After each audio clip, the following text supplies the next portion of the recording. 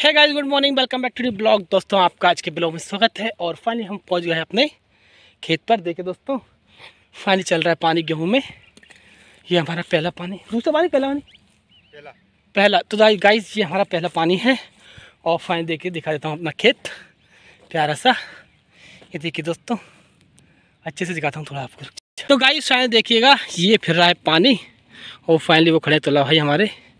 और ये कि दोस्तों अच्छे से देख लीजिए आप, हमारे गाँव की खेती बाड़ी फाइनली तो गाइस फाइनली मैं इतनी इतनी थकान इसलिए महसूस कर रहा हूँ, क्योंकि मैं रनिंग करके आ रहा हूँ फाइनली देखिए दोस्तों, मैंने सोचा खेत भी चल चलते हैं आज, और खेत भी देख आएँगे अपने, और फाइनली अपनी रनिंग हो जाएगी।